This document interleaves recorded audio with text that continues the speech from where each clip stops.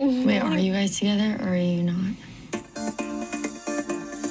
I think with all the Noah stuff, I just like keeping it to myself. I don't trust talking to anyone at all. My parents know, my sister knows. As long as we don't say anything, then it's not gonna go anywhere.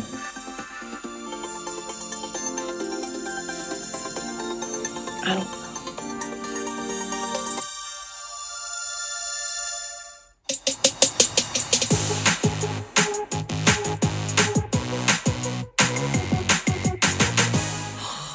I don't know why you guys are making this so difficult. Moving is so fun. To you. The, you know, the organizer's coming to pack you.